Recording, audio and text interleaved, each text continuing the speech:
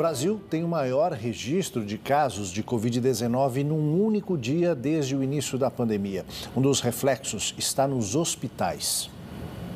É cada vez maior a pressão por leitos no país. Segundo a Fundação Oswaldo Cruz, o pior cenário neste momento é o de Mato Grosso do Sul, que ultrapassou o limite máximo de ocupação das UTIs.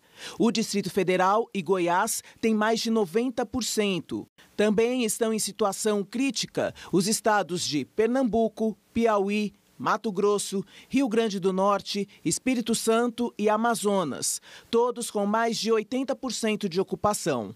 Já são mais de 26 milhões de infectados no país, com média diária próxima a 190 mil. O total de mortes se aproxima de 630 mil, quase 700 por dia.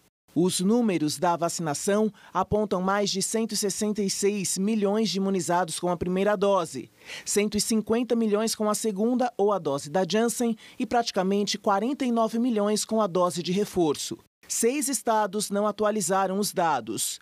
2 milhões e 400 mil crianças entre 5 e 11 anos foram vacinadas contra a Covid-19.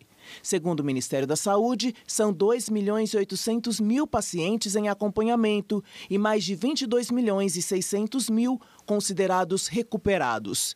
O Ministério Público Federal recomendou ao Ministério da Saúde a revogação da portaria e da nota técnica que negam a efetividade das vacinas contra a Covid-19 e apontam o kit Covid como eficaz. Os documentos foram assinados pelo então, secretário da é, Ciência, Tecnologia, Inovação e Insumos Estratégicos em Saúde do Ministério, Hélio Angotti Neto. A pasta informou que vai se manifestar dentro dos 10 dias de prazo.